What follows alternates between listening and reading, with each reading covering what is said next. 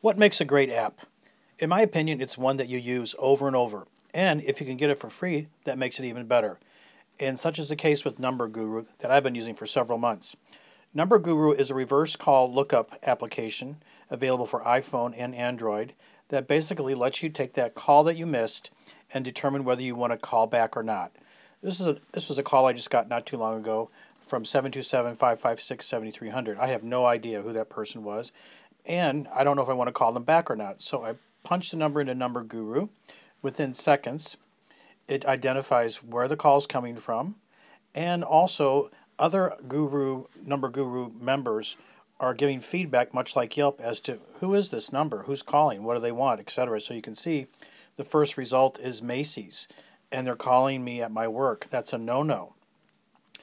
There's another user, they call numerous times and they don't say anything. So I don't think I want to call that person back. That's not going to take up my time. The cool thing is though, once you get a call that comes in and your call log or wherever it is, even at your home, you could punch it into Number Guru in a few seconds, identify who it is, and then you make the decision whether you want to return the call or not. Check it out. That's Number Guru.